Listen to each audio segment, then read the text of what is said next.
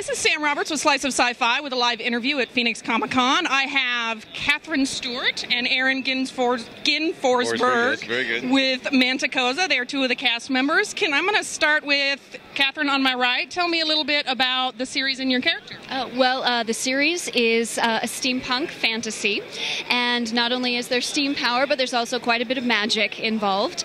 And Sebastian, played by my friend Aaron, is a cubicle drone who gets magically transported into a different world. And my character, Lady Chenna, is the one who is tasked with helping him to unlock his wizard potential, whether she likes it or not. So.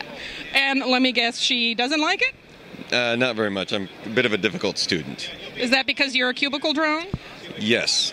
I'm a cubicle drone with not a lot of personality who doesn't know what to do with my magic. Um, and uh, just discovered along the way. I go back to Earth, bring across a couple of my friends, and we go on this adventure to free the world of Mantecoza from the evil Lord Bar.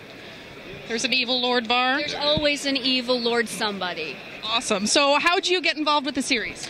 I met Sue about four or five years ago. I responded to a Craigslist ad um, and then sat down with her over coffee and had to convince her that I was the man to play the lead role, um, which after a few weeks uh, that worked out. So that's how I got involved in that. And that was five years ago.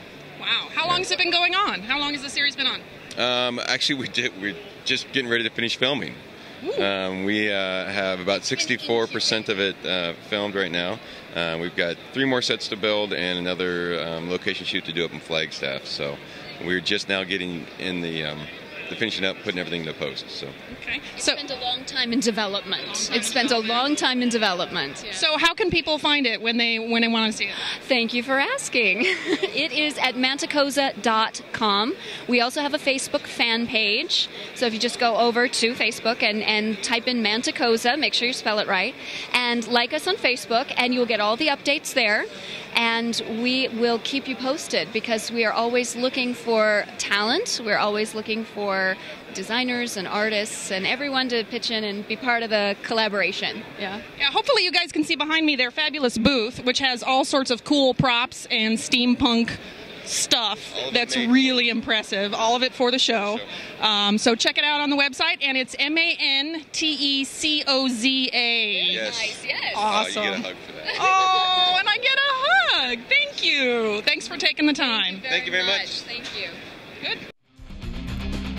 sliceofsci-fi.com.